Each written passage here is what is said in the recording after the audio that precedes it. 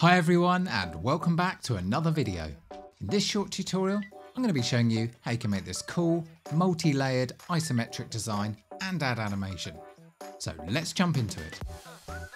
As usual, the first thing we'll do is go to File, New, Blank Presentation, right click and choose Layout, Blank. I'm just going to quickly paste in the colours I'm going to use and move them off the page very slightly. I'll just quickly add the text and then we can get started with the shapes.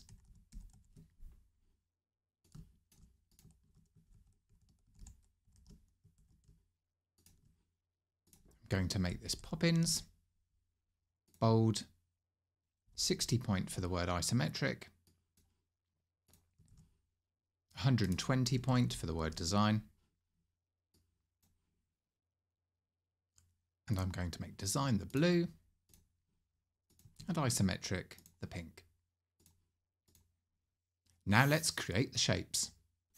The first one will be this rounded corner rectangle and the default size will be just fine for this. And I'm going to set it to no outline and make the shape fill the pink colour. Now I'm going to add a second rounded corner rectangle and for this one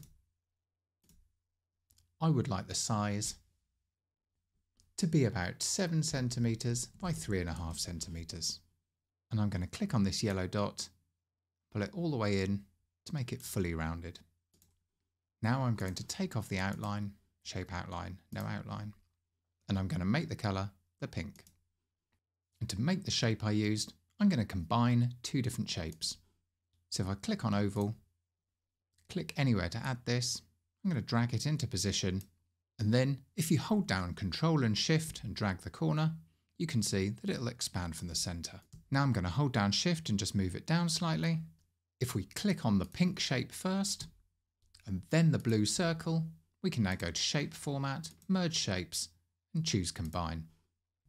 And for the next shape, I had a teardrop shape. So if you go to Drawing on the toolbar and you go down to Basic Shapes, on the second row, you'll find this, teardrop. We'll just click to add this here. Again, the default size is absolutely fine. I'm going to make sure this is the color I want and click Shape Outline, No Outline.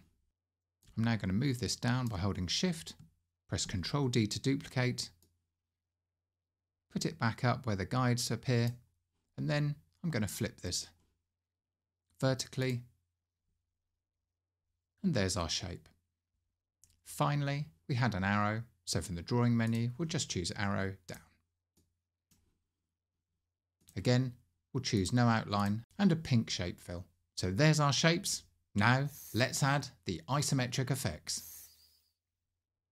And for the text, I'm going to choose the preset isometric bottom down. So we click on the text, we can right click and choose format shape. Then we'll go to shape options, choose the effects section, and then reveal the 3D rotation options with this drop down. And then we can go to presets. We'll be looking for this option in parallel called isometric bottom down. We'll apply the same preset to the design. I'll just move these down slightly and we'll position this roughly where we want it.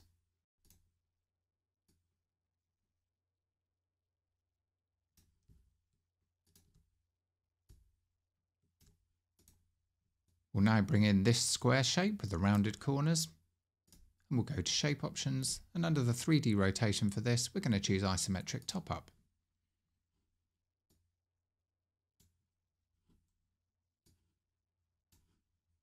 Isometric bottom down for the arrow and then isometric bottom down for both of these shapes at the bottom. And for this shape, I'm going to click on both of these, Control G and add the isometric bottom down effect to both of them at the same time. Just drag these into position. I can move the whole lot of this down very slightly. That's looking great. Now let's add our second layer. So we can click on this, press Ctrl D, drag it roughly into position, right click, send to back, and I'm going to make this the blue colour. And so to get the nice multi-layered effect that I had. We're going to right click on the pink, choose format shape. We're going to add a drop shadow and we're going to change the distance from ground.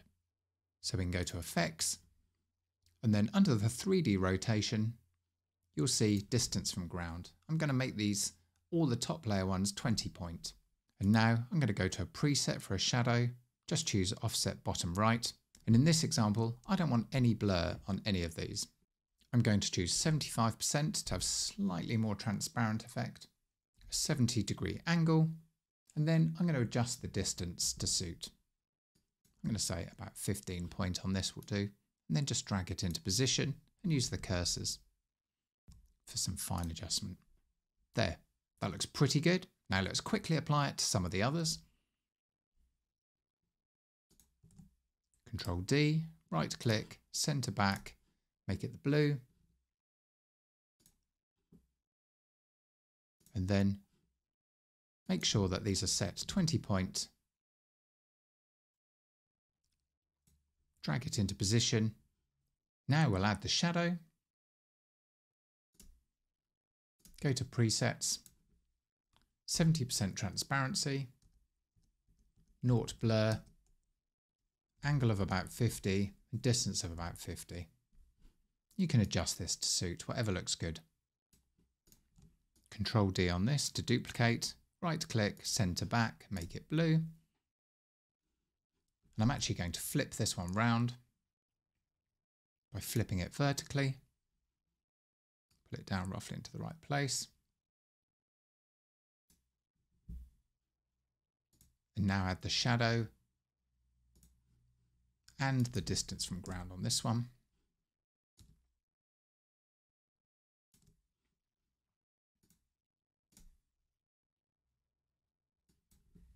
naught blur, 70% transparency. And for this, I'm going to leave the angle on 45. And then I'm going to choose 60 point for the distance. You can just pick these up and drag them to wherever you think you want the shadow. Again, you can put it anywhere you like, whatever looks good, but try and be consistent on the page design so the shadows fall in roughly the same place. Looking good. Finally, going to do this teardrop. I'm going to press Ctrl D to duplicate it. Rotate this.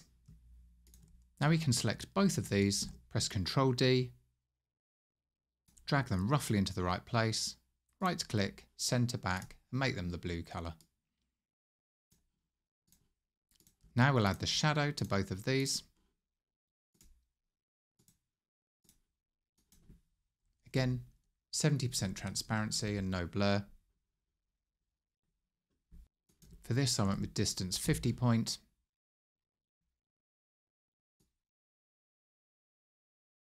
Distance from ground 20. Then we'll just add the shadow to this one.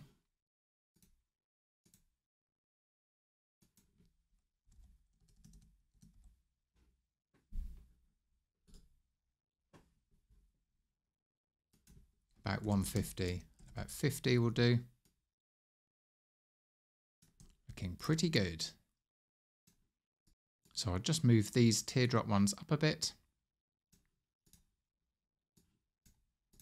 Then select both of these and move those up a bit. Finally, select them all, put them roughly in the middle. We can now delete our colour references. Great! a really quick way of making some interesting isometric design.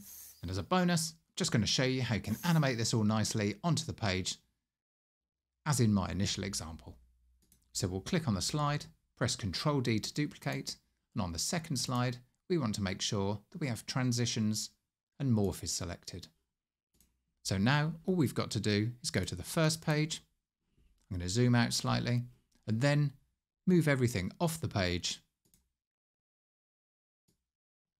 in the way we want it to reveal in on the next page. So I'm going to drag these all off at angles. And it doesn't have to be exact because you can always fine tune it afterwards.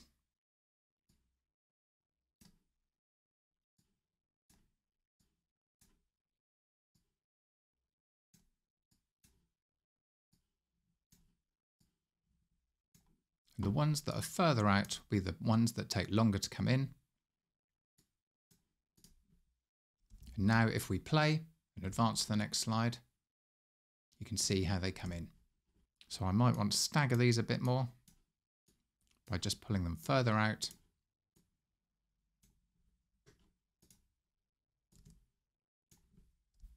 Excellent.